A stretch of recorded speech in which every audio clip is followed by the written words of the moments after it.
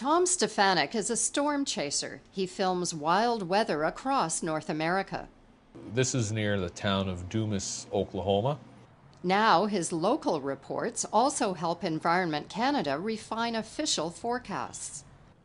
I have a weather station in my backyard, and that actually feeds information directly to the internet where it's accessible by a number of agencies.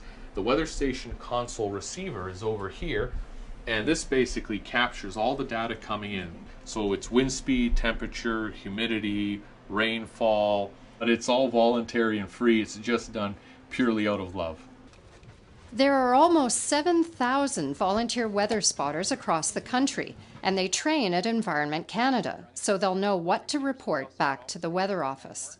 Uh, the condition that we talked about earlier on was the uh, either condition yellow, green, or red. Agencies like Environment Canada can take the data that I give them and they can say, well, we're probably going to want to issue a heavy rainfall warning or a flood warning. So when you look outside on a windy day and you see strong wind gusts blowing the trees around, you can say, wow, it's really windy, but how windy is it? Or how much rain is falling? This takes what you're observing as an individual and putting it into terms that are universal.